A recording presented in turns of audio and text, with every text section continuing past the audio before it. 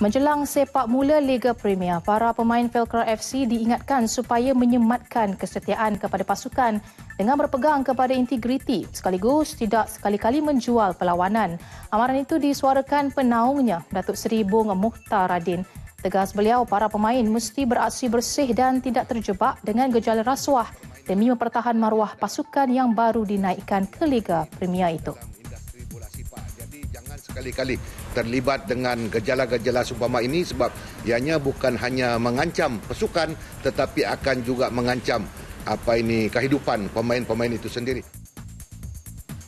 Datuk Seri Ibu Mota ditemui pada majlis pelancaran jersey musim baharu Velcra FC di Wisma Velcra Ibu Negara. Skuad yang diberi julukan The Rival itu tampil dengan warna putih untuk jersey utama di laman sendiri manakala jersey biru digunakan untuk aksi di gelanggang lawan dan jersey jingga menjadi jersey alternatif. Membuka kempen 2018, Velcra FC akan berdepan PDRM di Stadium Shah Alam Jumaat ini. The Rival menyenaraikan beberapa pemain berpengalaman antaranya Syahrum Kalam dari Perak, Fandi Ottoman dari Melaka serta Asrul Ibrahim dan Nizam Abu Bakar masing-masing dari Titim dan PKNS.